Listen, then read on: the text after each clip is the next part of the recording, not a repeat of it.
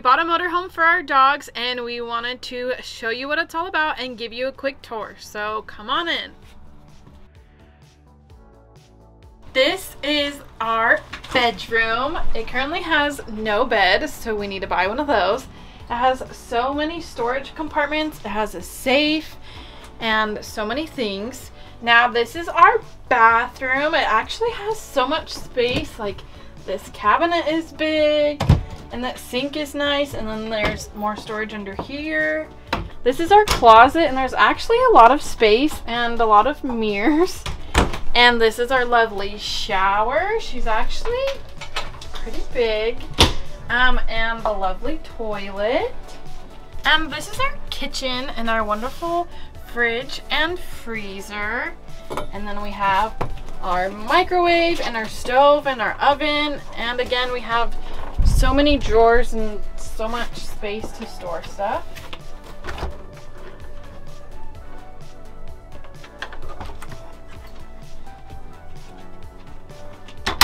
And this is our living room. This couch turns into a bed. And then this dinette turns into a bed as well. And there's storage under there. And then storage up top. And we're thinking of maybe bringing our bunny Ollie with us. And we're gonna maybe build him something to put under here. And then our driver's seat and our passenger seat. And Bronco loves to look out the window. It's such a big window and he loves it. I wanted to sit down and tell you what we bought, why we bought it, and where we plan on going and what we plan on doing with it. We bought a 2003 Class A motorhome. It is a Hurricane, what is it? Hurricane? It's a Hurricane by Thor Motor Coach. She has 38,000 miles on her and it's a Ford V10 gas motor. And maybe you're wondering why I keep calling it a her and we came up with a name and her name is Pitricia, like Pitbull and Patricia mixed together. We even got a custom license plate and I'm going to keep it a surprise until it comes into the mail. So there are multiple reasons why we wanted to buy a motorhome or an RV and originally we were looking at a travel trailer and you hook it on the back of a truck but most of the trailers we were looking at were way over our budget and then we would have to potentially buy a new truck to pull it with and combining those two things together equals a lot of money and honestly we were looking at some newer um, travel trailers. And I mean we were only looking at the ones kind of ish within our budget. So maybe the more expensive ones are nicer but a lot of them just did not look very well built. Like a lot of trimming was falling off or like even pieces like this were falling off and it just did not look the best and so we learned that maybe a lot of the older things were built a little better. And one of the salesmen even told us things that were built pre-COVID were built a lot better. So that's kind of what we learned. So we decided to not look for something brand new and to keep looking for something used. But it was hard to find something used that we felt like was worth what the people were asking. Then we started looking at motorhomes because it would be probably a lot more comfortable for the dogs and then we wouldn't have to buy a new truck. I mean, some people buy a vehicle to tow behind it, but I think for right now and what we're wanting to do, we would be okay with not towing another vehicle. And I just had in my head that motorhomes were really expensive. I mean, they are, but when you look at older motorhomes compared to like 2015 to 2018 travel trailers, some of them are kind of within the same price range. We were actually talking to a gentleman at Best Friends when we were there a couple weeks ago and he was telling, we were asking him for advice because he RVs and things like that. And he said, one thing I will tell you is the first motorhome you look at or the first whatever, whether it be a car or whatever it is, it's not going to be the one you buy. And that was very true for us. We looked at like two or three brand new things just we were not going to buy them because they were not within our budget but we just wanted to see kind of how big it is inside and what it would be like with the dogs. And then we went and looked at one used RV or sorry motorhome in Las Vegas and it just was not the best. It wasn't terrible but it would for sure need some remodel and the person selling it just didn't know everything about it. So when you're spending a lot of money you kind of want to know a lot about it. So we didn't go with that one.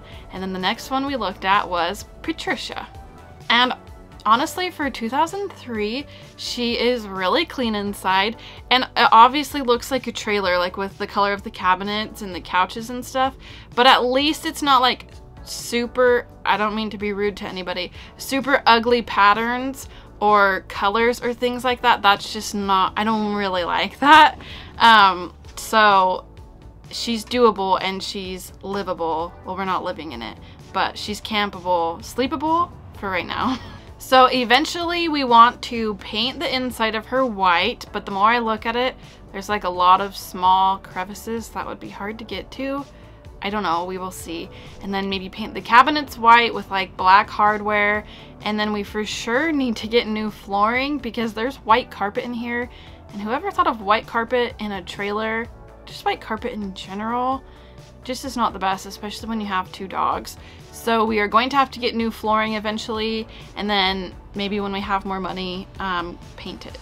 So the main reason why we bought it was obviously because we want to travel, but I seriously have not seen very many states and there's so much to see. And before my mom passed away in 2017, she would talk about how she wished she could have traveled or the things that she wished she could have saw. She was able to go on one trip before she passed away, but together her and I went to California and mainly that's where she went was California because it was close to where she lived. And I just want to be able to travel while I can. There's honestly nothing really holding Jed and I back. We just have the two dogs. So now that we have something that we can put the dogs in, we are basically free to go anywhere. And by anywhere, I mean wherever we can afford because gas is very expensive.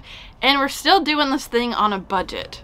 The only states that I've been to, California. I went to Florida when I was five or six. I maybe went to Arizona as a kid. I think I went to Alaska when I was a baby, I think.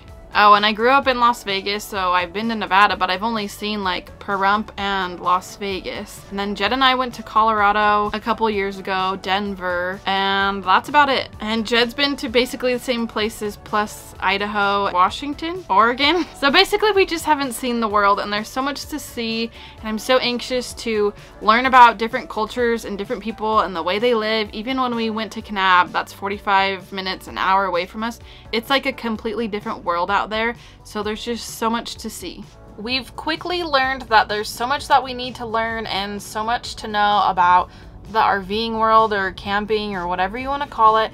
So if you have any tips or tricks for us or anything you think we need to know, feel free to comment down below and let us know. Maybe if you have your favorite places you've ever traveled, we're hoping to maybe stay within like the air. We live in Utah, so we're just trying to stay within the surrounding areas so that way we don't go bankrupt paying for gas. We do have one trip planned that we are going to travel across the country with the dogs. Well, by planned, we have it in our head. We just need to plan it out and make sure we can for sure go. So be sure to stay tuned for that so that way when that time comes in March, hopefully, we can take you along with us. But in the meantime, we are going to be taking just smaller trips that are only for a couple days so that way we can get used to it, get the dogs used to it. Bronco is pretty scared of the motorhome and I think it's just all the noises and rattling of things when you drive.